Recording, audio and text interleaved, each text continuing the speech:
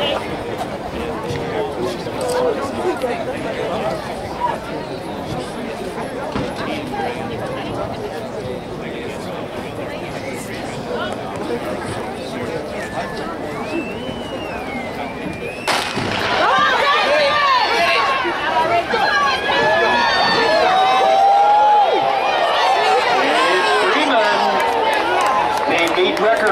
defending champion and 2013 champion in 11.03.